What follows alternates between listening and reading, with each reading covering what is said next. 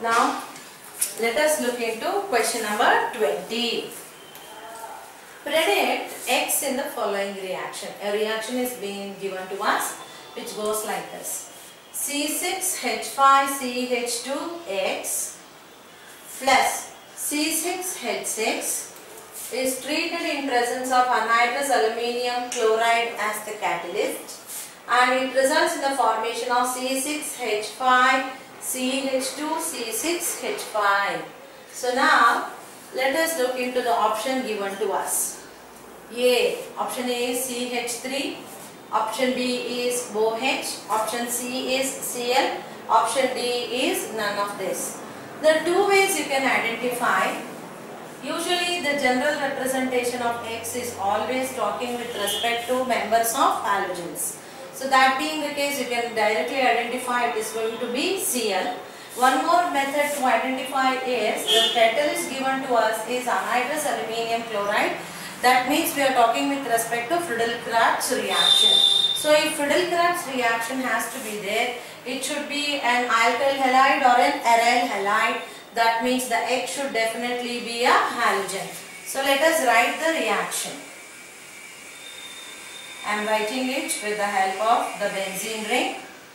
Now C6H5 because one hydrogen is gone and in that place CH2 and instead of X it is going to be Cl because it's the member of the halogen is treated with benzene. Now for easy understanding I am taking this linkage of H of the benzene ring otherwise it is C6H6 where will this be? All the corners of the ring will be carbon and each carbon in turn will be linked with one hydrogen. So this hydrogen now they go away like this in presence of anhydrous aluminium chloride as a catalyst. It involves different reaction mechanism wherein the first Cl will be now taken by this and it becomes Cl, Cl4. So Cl4 minus and it forms the carbocation. So like that the reaction proceeds. Now this is CH2 and write this CH2 like this and in turn this benzene ring is linked with this carbon. So now one hydrogen is gone from this benzene ring. So therefore this is going to be C6H5. Similarly let me place the double bond here also in this benzene ring.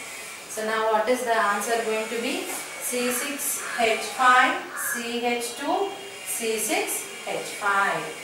So it's going to be diphenyl methane. Diphenyl methane. So which is the correct option for us? Option C is the correct answer. Answer is option C. Reaction is Friedel-Crafts reaction.